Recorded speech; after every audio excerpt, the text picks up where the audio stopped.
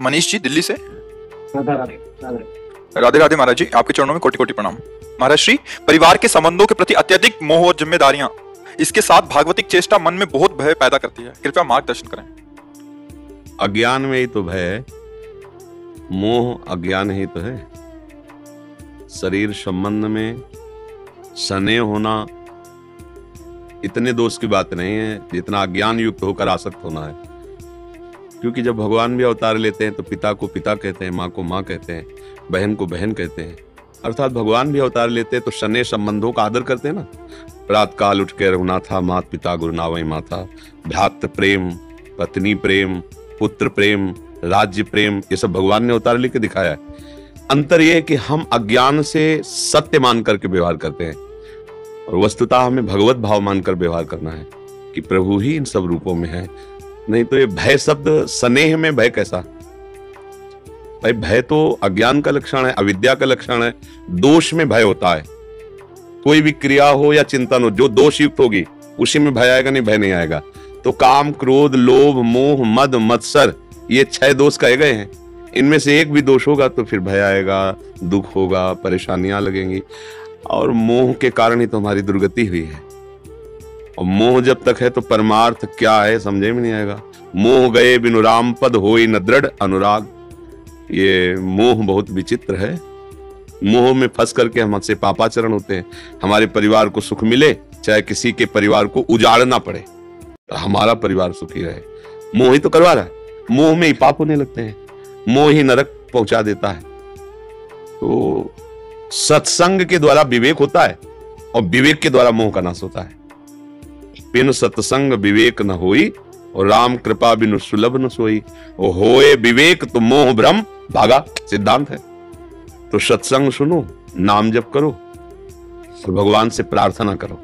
तीनों बातें, कि हे भगवान, मेरे मोह का नाश करके, मेरे हृदय में शुद्ध ज्ञान प्रकाशित करो।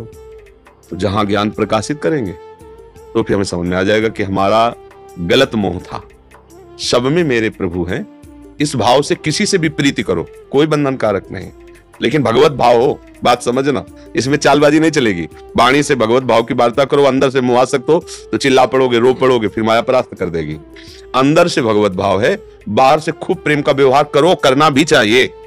माता, पिता, भाई, बंधु, अगर इनको सुख नहीं पहुँचा सके तो फिर क्या साधना करोगे? इन्हीं में तो भगवान छुपे हुए हैं। हमारे करुणा निधान भगवान कहते हैं कि यदि तुम हमारी मूर्ति को खूब पूजा करो और बाहर माता पिता, परिवार, अतिथि, अन्य लोगों से द्रोह करो। ऐसे शब्द बोलो कि उनका हृदय छलनी हो जाए। ऐसे आचरण करो कि दूसरे तो बोले, वो पूजा ऐसी है जैसे राख में किया हुआ हवन। बेकार एकदम तो भगवान स्वयं कहते हैं, सबके हृदय मंदिर में ठाकुर जी विराजमान है। सबको प्यार करो, यथोचित धर्म के अनुसार, बहन से बहन जैसा, माँ से माँ जैसा। पर यह भाव ध्यान रखो कि इन शब्द में भगवान बैठे हैं।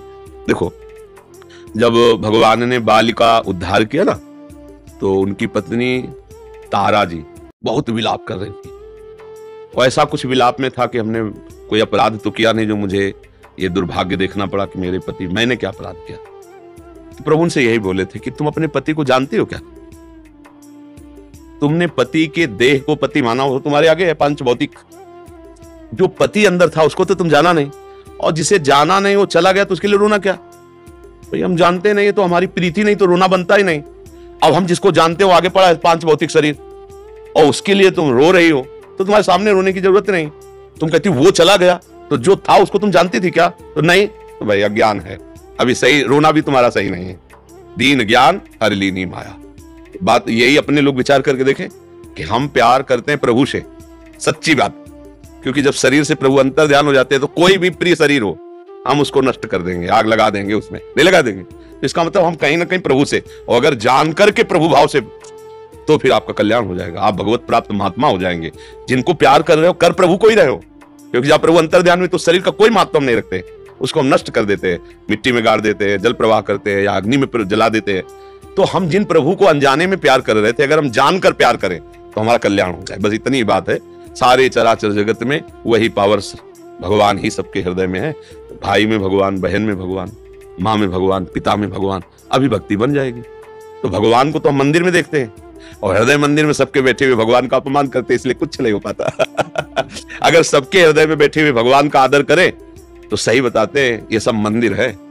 इस मंदिरों में भगवान ही बैठा हो, वही पा रहा है, वही बोल, आनंदित हो जाओगे। वस्तुतः सत्य बात है, भगवान कहते हैं, मत्ता पर तरम नान्यत किंचित अस्ति धनंजय, मेरे सिवा किंचन मात्र कुछ और नहीं। तुम तो गुरुजनों की बात, भगवान की बात मान लो तो फिर परमार्थ का रहस्य प्रकाशित हो जाएगा। अब अपने मन की बात मानने पर तो बहुत दुष्ट है, पक्की बात है।